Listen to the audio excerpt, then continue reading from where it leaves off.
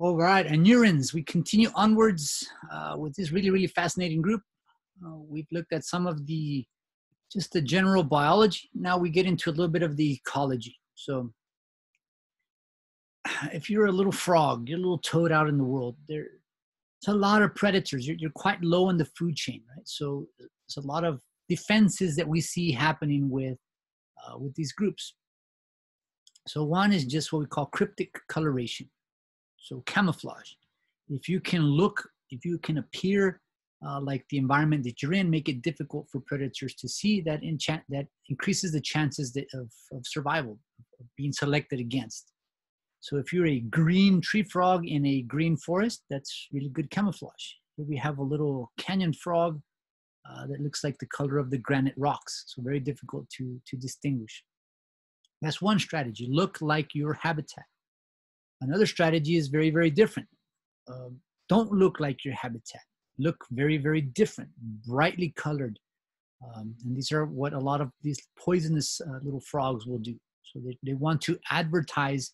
They're not trying to hide. They're trying to make themselves known.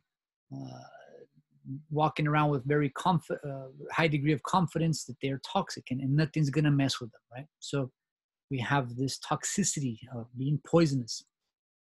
And we have this idea of mimicry. So we have the poisonous uh, dart frogs here, and then we have non-poisonous mimics that look like the uh, like the really highly toxic forms. So it's a lot of neat ecology that goes on with with these groups. So this is just an example of uh, try to we call cryptic coloration. So this is a little close up of a frog in a kind of pond environment. We call this duckweed. And this would be very difficult to see if you're not really, really looking, searching. Unless it moves, you might overlook that very easily. Uh, mossy frogs, uh, look like moss. They're bumpy, um, very, very good camouflage in, in, their, in their habitats there. Uh, horn frogs look like dry leaves, right? So they have little points, little angles like a leaf would have, like a leaf tip. They're brown. They look like the same color as these dark leaves. So very, very difficult to see on the on the forest floor with low lighting and lots of fallen leaves. So really, really good uh, camouflage, cryptic coloration there. Uh, we call these Pac-Man frogs. Uh, kind of same idea. You live on the forest floor. You have green patches. There's the frog. There's the snout is facing that way, the eye, the other eye. Little patches of green because there's patches of green leaves, brown because there's dry leaves. So again, really, really good cryptic coloration there. And these actually are, are found in, in, I'm not going to say in El Paso, but very close. They're, they're found anywhere in, you know, in West Texas that we have water supply. You can go out to New Mexico, Arizona, and we can find these not too far from here. So these little canyon tree frogs, they're gonna mimic the coloration of all these boulders. They live next to ponds and streams. Uh, and again, you can see it there. Pretty difficult to spot if, uh, you know, we're searching for them here, but um, if we're out, you know, just walking around or predators moving around, it very easy to overlook there. So there's that little tree frog. We says frog, it's bumpy. Again, it it doesn't always hold true that frogs are smooth, yeah? So uh, pretty good camouflage in my opinion there. Uh, another cryptic coloration, um, look like your background. And the best way to look like your background is if you're clear and all you see is the background. So here we have this Centrolenella, we have these glass frogs. Um, very difficult to see because again, the light passes through them, they're basically translucent. We can see um, their internal organs.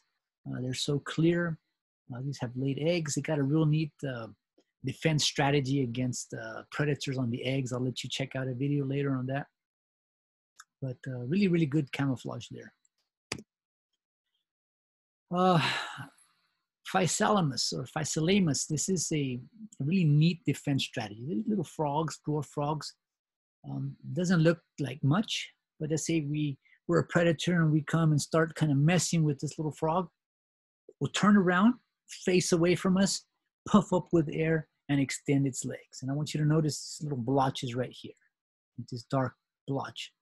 Uh, when it's scared, it turned around and whoa, right? So it's the same frog, same frog that is turned around, and now it kind of mimics little eyeballs staring at you. Like imagine you're some predator, like, oh man, what is that big predator? You know, uh, it's got the little little tail. There's a cloaca. There's a little quote unquote nose, the eyes, and again, it would look like a mouth structure when it moves the, the hind legs. So uh, pretty effective at scaring away um, some of these uh, smaller predators. So neat strategy that it's amazing how that evolved, right? But that's a neat uh, defense mechanism for these little frogs. Um, with this, let me uh, shift uh, another discussion here. So let me backtrack here. Let me stop here.